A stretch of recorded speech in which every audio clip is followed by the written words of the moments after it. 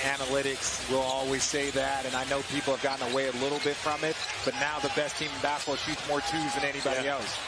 Great defense by Booker. Better shot by Luka inside. And that's what we're talking about. He's unguarded. He's unguardable.